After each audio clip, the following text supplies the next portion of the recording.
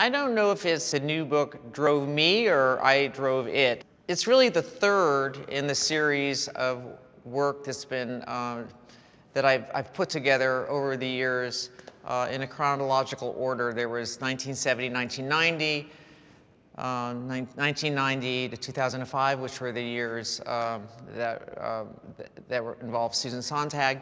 And then this is um, 2005 um, to 2016. And, and what happened was, as I was working on my material for an archive show in the south of France, I, I, just, it suddenly hit me that I had accumulated all of this work from 2005. It, it was exciting to start to put that work together.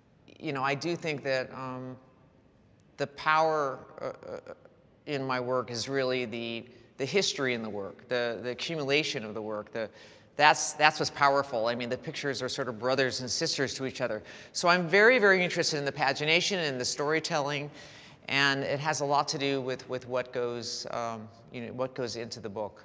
I was very, very lucky. Uh, Bea Feitler was an extraordinary art director um, uh, who I worked with not only at Rolling Stone, but she was an art director of Harper's Bazaar, and she um, she, was, uh, she worked on the prototype for Vanity Fair. She taught me very early on it was important to stop from time to time and look at your work. It will tell you what to do next, you know, when you look back at your work. And that's what the first two books did do. They, they gave me a lot of uh, direction as far as what, kind of, what I wanted to do um, with my work, with, with my work next. I had the opportunity um, I wanted to photograph Obama um, in, his, in his last days in office, and um, you know, they, they, the White House kept putting off the shoot, and then finally it was like two weeks before he, you know, he was supposed to leave the White House, and I get a call that I could come on Thursday at two o'clock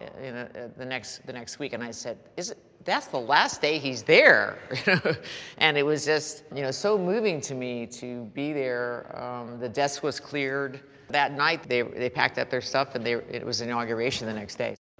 I wouldn't be a photographer if it wasn't for Cartier-Bresson's book on uh, the world of Henri Cartier-Bresson. I saw that book, and I wanted to be out in the world. I mean, there were moments in these books that sort of carried me to the next place and, and inspired me and influenced me.